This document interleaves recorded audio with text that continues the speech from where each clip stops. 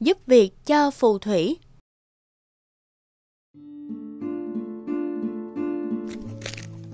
Ba đã về, ba đã về. Ba ơi, hôm nay ba có mang được gì về không?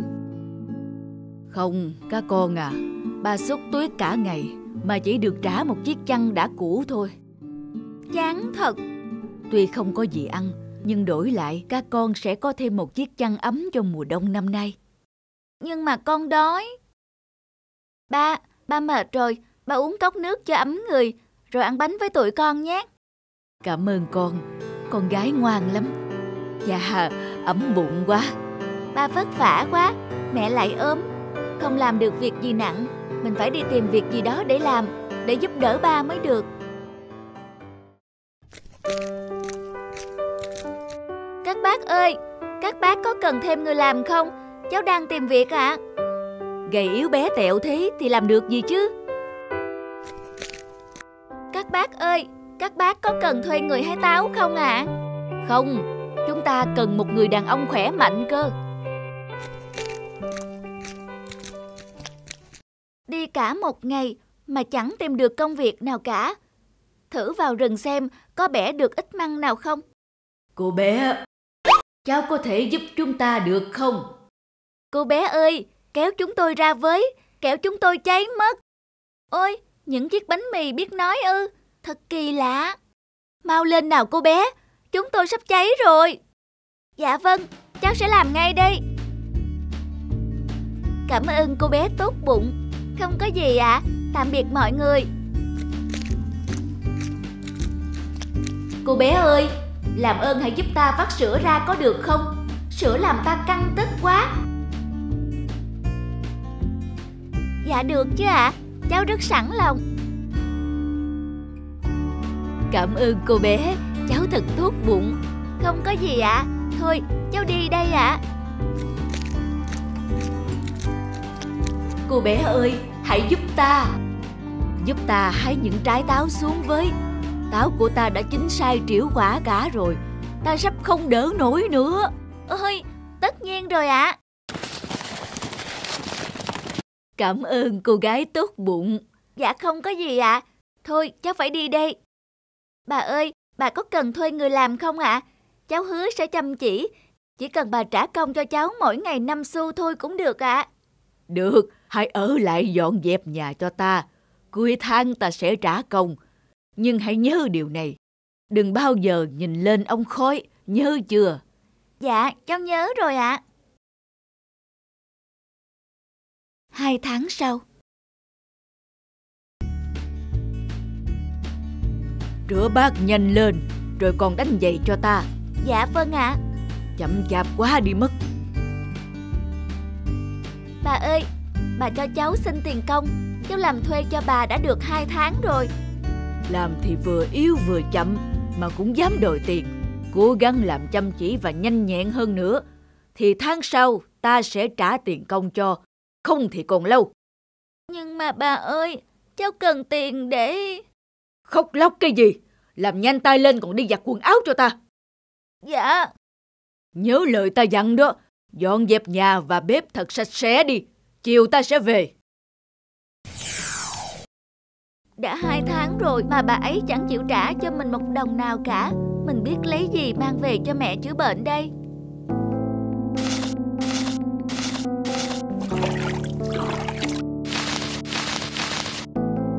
Gì trong ấy mà bà ấy cấm mình không được nhìn chứ? Mình thử nhìn một tí thôi, Chắc không sao đâu.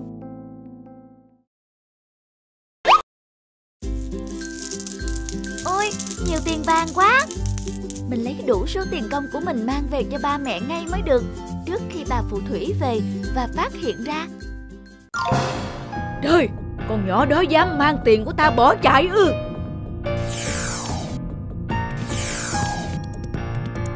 Này bò, Mị có thấy một con bé gầy gầy chạy qua đây hay không? Nó đâu rồi? Nó không thể chạy nhanh thế được.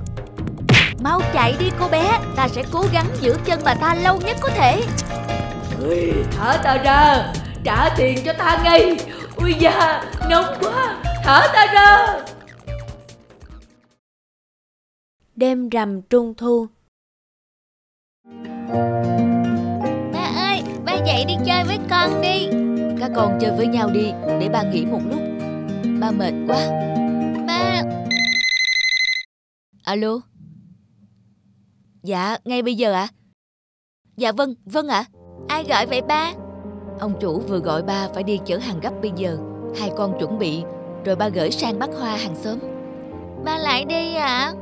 Lâu lắm rồi ba mới ở nhà được một ngày, vậy mà... Chuyến hàng này đi xa, chắc phải mấy ngày ba mới về được. Hai con ở bên Bắc Hoa nhớ phải ngoan nha. Dạ.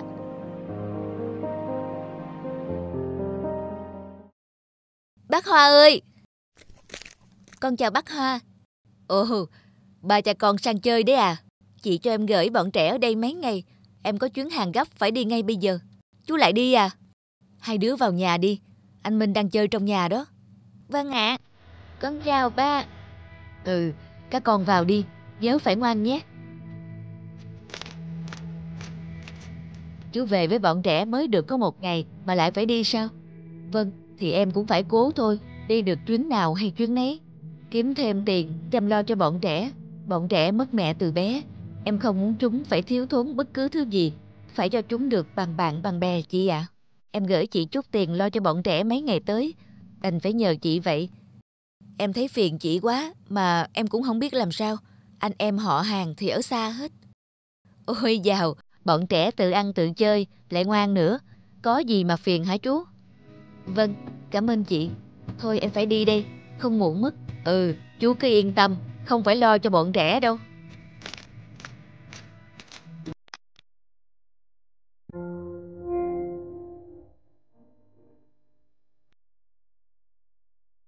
Tú, em làm gì đó? Ba sắp về cho chị. Chị cũng không biết nữa. Ba bảo đi mấy ngày cơ. Mà mai là trung thu rồi. Không biết ba có về kịp không nữa. Cả nhà ăn hoa quả nào. Mai là trung thu rồi. Các con chắc thích lắm chị. Dạ, trung thu sẽ được rước đèn, được xem múa lân ạ. À. Những con lân to ơi là to. Còn có rất nhiều bánh kẹo hoa quả. Còn có cả những chú chó bưởi nữa. Xinh ơi là xinh. Lại còn được ngắm chị Hằng chú củi cùng ba nữa. Nhưng mà mai nếu không có ba thì chán lắm.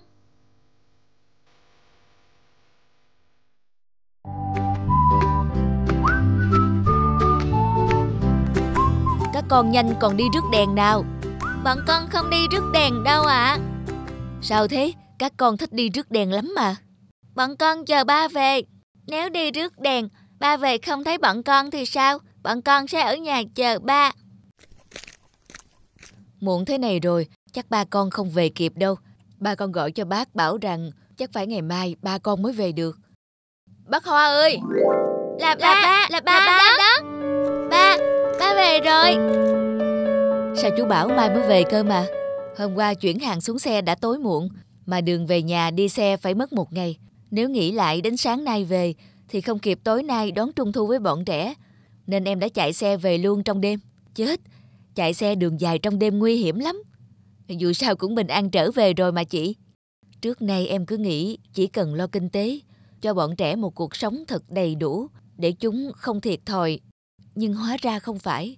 Đầy đủ vật chất sẽ không có ý nghĩa gì với bọn trẻ khi chúng thiếu thốn tình cảm. Dành nhiều thời gian, dành sự yêu thương cho bọn trẻ, đó chính là cách bù đắp cho chúng tốt nhất. Em cũng đã suy nghĩ đến những lời chị nói và quyết định sau đợt này sẽ tìm một công việc khác không phải đi nhiều nữa để có thời gian ở nhà với các cháu. Thật không hả ba? Ừ, từ nay ba sẽ ở nhà với các con nhiều hơn. Thế thì tốt quá. Thôi, ba cha con chuẩn bị đi rước đèn thôi nào. Dạ, vâng ạ.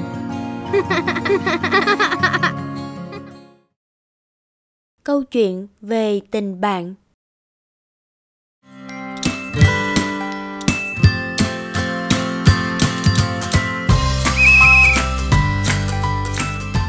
em chú ý, thầy có một tin vui thông báo. Sắp tới, nhà trường tổ chức giải điền kinh. Mỗi lớp sẽ có hai bạn đại diện tham gia dự thi và hai bạn đại diện cho lớp mình sẽ là bạn Hùng và bạn Nam. Yeah. Chúc mừng Hùng và Nam nhé. Yeah. Ba mẹ tớ mà biết được tớ được dự thi vòng trường chắc sẽ vui lắm. Hôm trước ba tớ nói nếu tớ được chọn đi thi, ba tớ đang công tác cũng sẽ bay về để cổ vũ tớ. Ba mẹ tớ cũng hứa sẽ đến cổ vũ tớ, nhưng mà... Nhưng mà sao? Mẹ tớ ốm nằm viện, ba phải ở lại bệnh viện chăm mẹ. Chắc ba mẹ tớ không thể đến xem tớ dự thi, sẽ không có ai tới cổ vũ tớ cả.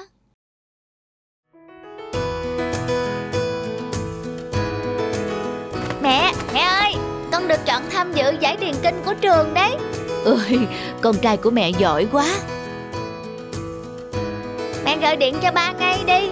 Ba bảo nếu con được chọn đi đấu giải, ba sẽ về cổ vũ cho con mà. Ừ, phải rồi, ba con sẽ vui lắm đấy. Để mẹ gọi ba ngay nha.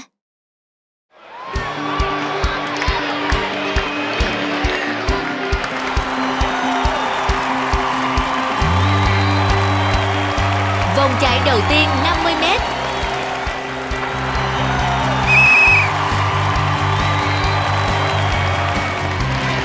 Con trai cố lên, cố lên. Cố lên, cố lên, cố lên, cố lên. Cố lên. Cố lên, cố lên. Cố lên. Con trai cố lên, cố lên, cố lên.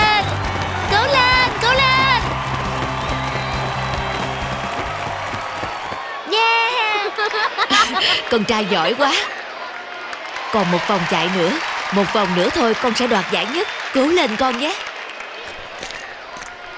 Chúc mừng cậu nhé. Ừ, cảm ơn cậu. Còn vòng sau nữa, chúng mình cùng cố gắng nhé. Ừ, mình cùng cố gắng. Thôi tớ đi chuẩn bị đây.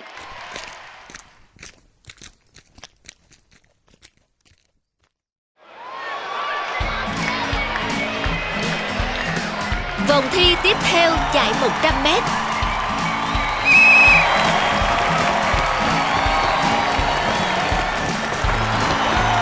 Cố lên, cố lên, cố lên, cố lên.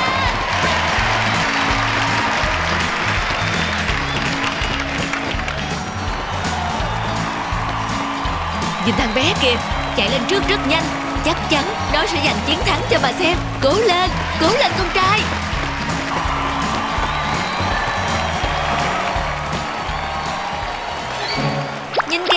Hùng đang chiếm ưu thế. Tại sao lại đột nhiên chạy chậm lại thế kia?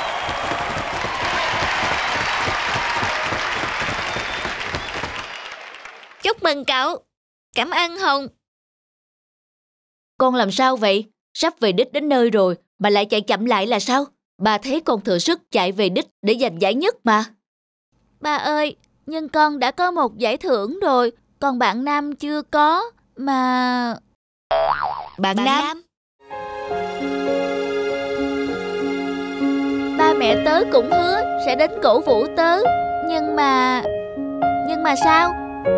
Mẹ tớ ốm nằm viện, ba phải ở lại bệnh viện chăm mẹ. Chắc ba mẹ tớ không thể đến xem tớ dự thi, sẽ không có ai tới cổ vũ tớ cả.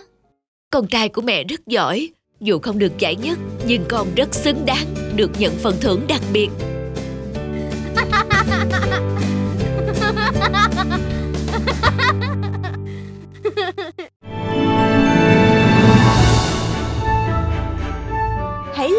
Comment, subscribe kênh để xem thêm những video mới nhất nhé.